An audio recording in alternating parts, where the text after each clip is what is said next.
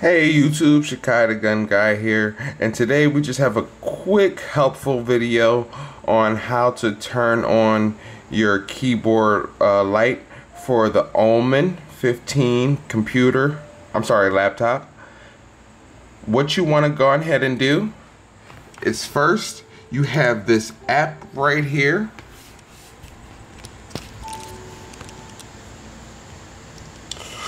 In this app, is your Omen Command Center.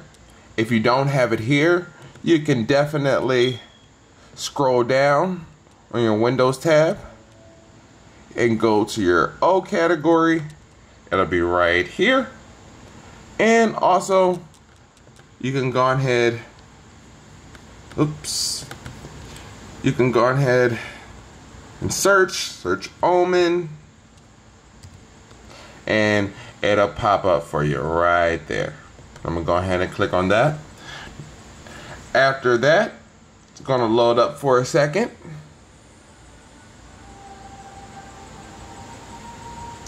All right. Now, it's gonna take you to the Omen Command Center home.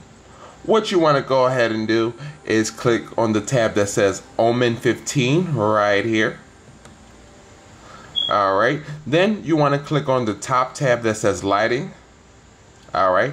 Now, of course, mine would be off because it's off.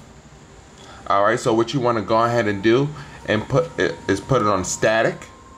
All right. And apply. And here you are. Your laptop is back to being illuminated. You can also go ahead right here and customize it to whatever color that they have here for you. I'll just change it to pink because that's just a different color. And now it's pink. So if this uh, video helps you out, please let me know in the comment section below. Like and subscribe to the channel. I'm going to be doing a lot of helpful videos.